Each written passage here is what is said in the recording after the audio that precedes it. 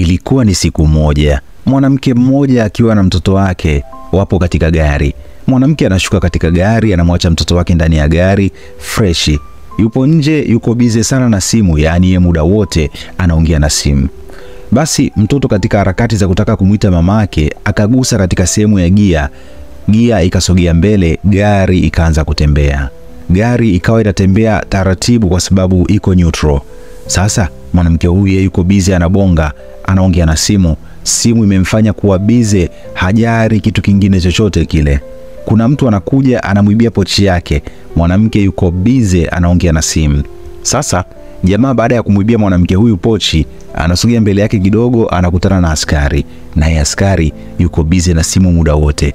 Sasa jamaa ambaye ni mwizi anafanikiwa kutoroka, anamtoroka na askari, lakini kabla hajafika mbali zaidi, anamwona mtoto mdogo yupo katika gari na gari inatembea peke yake. We, hata kama ungekuwa ni wewe, ni lazima utaingiwa na utu.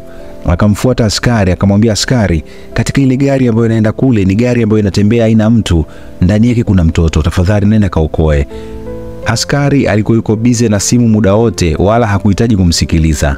Jamaa ikabidi amfuate yule mwanamke ambaye amemwibia, akamfuata kwamba mama, samani, mtoto wako yupo kule, anaenda na gari peke yake, tafadhali nenda kamwokoe. Mwanamke huyu naye alikuwa yuko bize, hataki kusikia chochote kile, yaani akamwambia tena, ukinigusa nitakupeleka mahakamani, nitakufunga mshenzi, wewe hauna adhi ya kunigusa, usiniguse. Jamaa ikabidi akimbilie lile gari ili akatoe huduma ya kwanza. Amefika katika ile gari, anamwelekeza mtoto, jaribu kufungua kioo dogo, wapi aelewi. Anaenda mbele ya gari kuzuia, lakini inashindikana. Jamaa anapata akili baada ya kuona jiwe, analichukua jiwe, anaenda kuzuia gari lisiende mbele. Anajaribu kufungua mlango wa gari, umejiloki na mlango unagoma kufunguka. Inabidi aende tena kwa yule mwanamke aliyemwibia ili akatafute funguo ya gari, ikiwezekana aende kulifungua lile gari, amtoe mtoto salama. Kweli akaenda, mwanamke yuko bize muda wote na simu. Akaingiza mkono katika pochi ya mwanamke, akatoa remote, akaenda kufungua gari, akamtoa mtoto salama salimini. Mwanamke yuko bize na simu muda wote, anapata akili, anaangalia nyuma, gari haioni. Anajiuliza, gari yangu iko wapi? Lakini ana data zaidi baada ya kukumbuka kwamba ndani ya gari yupo mtoto wake. Anafanyaje? Inabidi amfuate. Kuna mwanamke alikuwa jirani pale na kumwambia kwamba bana, we gari yangu ilikuwa na mtoto, sioni, sijui imeenda wapi. Wanashauriana baada ya kumwona askari kwamba twende kwa yule askari, anaweza kutusaidia. Wanaenda moja kwa moja hadi kwa askari na kumwelekeza. Askari bado alikuwa yuko bizi na simu, anakata simu, anasema kama ni mtoto wako amepotea, wacha tutafute njia ya kukusaidia.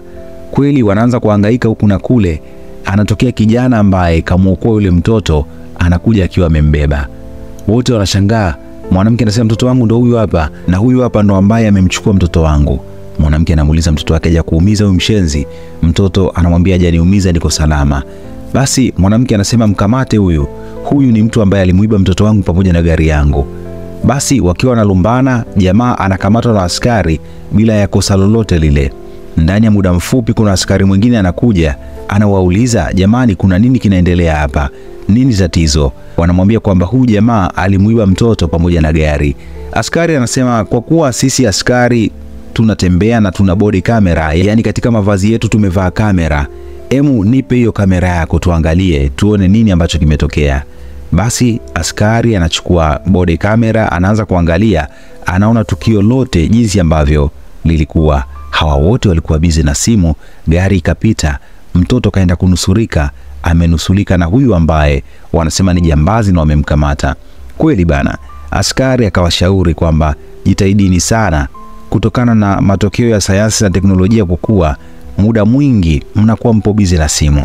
Punguzeni ubize na simu, kuna muda mtasababisha matatizo makubwa kwa sababu mlikuwa bize na simu.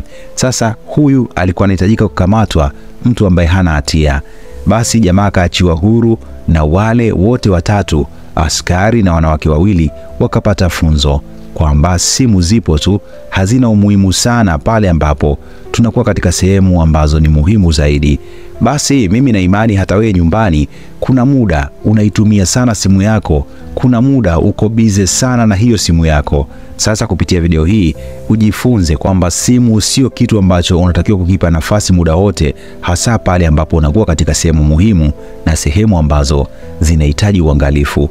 Anyway, mimi ni kushukuru sana. Mimi naitwa Jimmy Godfrey. Leo umeungana nami, nimekusimulia stori hii nzuri sana ambayo ndani yake ina funzo kubwa sana katika maisha yako. Je, kupitia video hii ni kitu gani kikubwa hasa ambacho umejifunza? Siku njema iwe nawe. Hii ni Bongo Star Media.